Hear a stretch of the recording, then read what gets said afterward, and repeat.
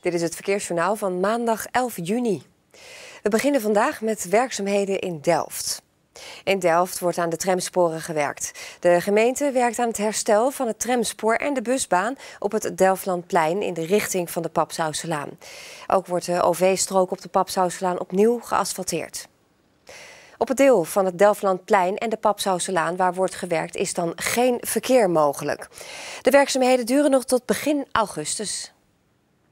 De komende jaren werkt het ministerie van Economische Zaken, Landbouw en Innovatie samen met Tennet aan de aanleg van een nieuwe 380 kilovolt hoogspanningsverbinding in de Randstad.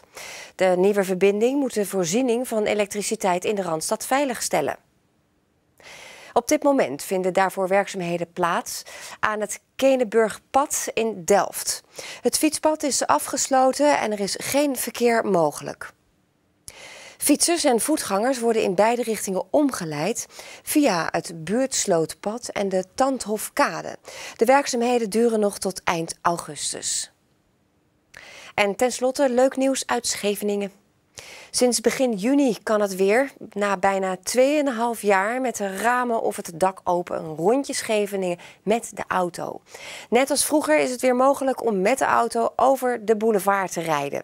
De nieuwe rijbaan op de Strandweg is een eenrichtingsweg die loopt van Scheveningen-Bad naar Scheveningen-Haven. Ga eens een kijkje nemen.